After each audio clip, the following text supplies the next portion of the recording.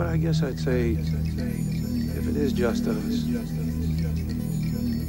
seems like an awful waste of space.